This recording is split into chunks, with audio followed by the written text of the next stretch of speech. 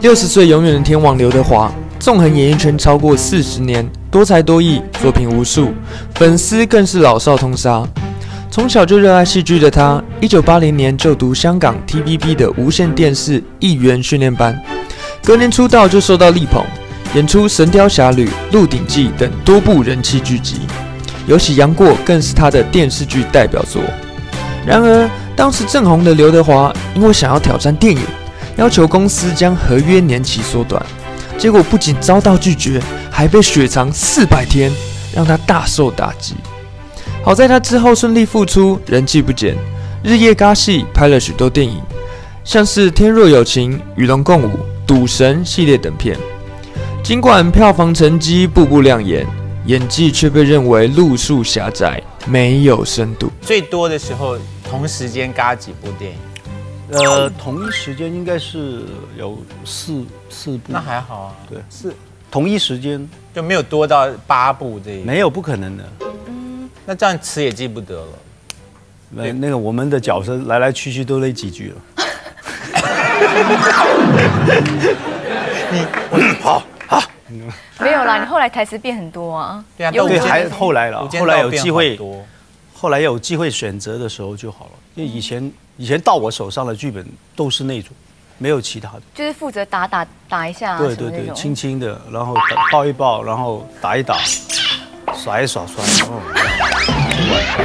直到一九九九年之后，他才摆脱过去偶像式的演技，比如在《暗战》里亦正亦邪，在《瘦身男女》里当胖子，在《无间道》当黑帮卧底等。精湛演技使他成为得奖热门，金像奖、金马奖双双入手，成为实力与票房的绝对保证。除了电影成绩傲人。刘德华凭借特有的港式国语唱腔，专辑也是张张大卖。啊，给我一杯忘情水，换我一夜不流泪。忘情水、马桶、冰雨、天意等，都是六七年级生的青春回忆。演艺事业精彩，天王感情生活却只能用低调再低调来形容。他与朱丽倩在九零年代起就传闻交往，直到二零零九年才正式承认已婚，并于二零一二年生下一女。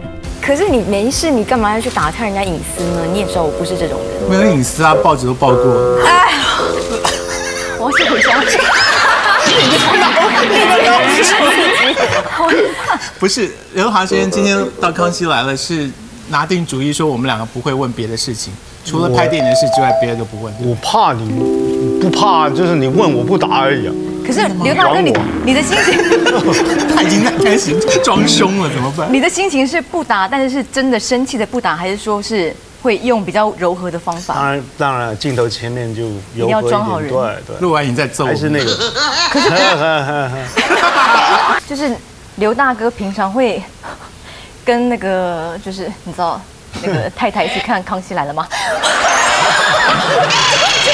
还好吧，这题很客气啊，这题没有什么啦，可以放放轻松放轻松，不要怕。这题算很生活化吧？生活很生活，蛮蛮要命的。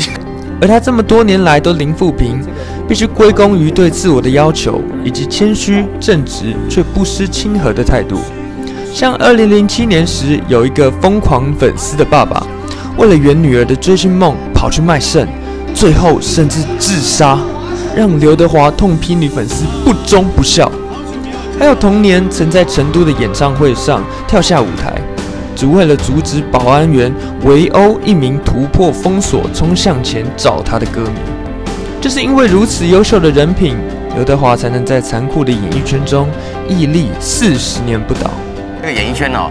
要红已经很难哦，嗯，要红的长长久久更是难上加难，难上加难，就是要保有一颗谦虚的心理。你越红，你要越谦虚。保守的麦穗会弯腰，会弯腰。哎，那刘德华充分做到这一点。这么多年来哦，他一直不让自己的体重超过七十公斤。哇，光这一点，一般人就已经做不到了。对啊，玉林哥已经超过七十，老早就就就超过了，大概都维持在七六左右。其实我问这个问题也是没有啊，没礼貌，因为不应该拿你跟天王相提并论。不，你刚刚在他是偶像，你刚刚这样提问很开心啊。对啊我也怎么我也很认真的我怎么会 miss 掉呢为我怎么会问你啊因为难得有人把刘德华问题哦拿来访问我，谢谢谢谢。哇仔我在你心中的地位一天一天的提高的。哎对，那总之呢，那个看完刘德华呢，给我们很多启发，也值得我们很多那个新秀艺人哦，作为一个借鉴，对哦一个作为榜样一一个个榜样标杆一个楷模。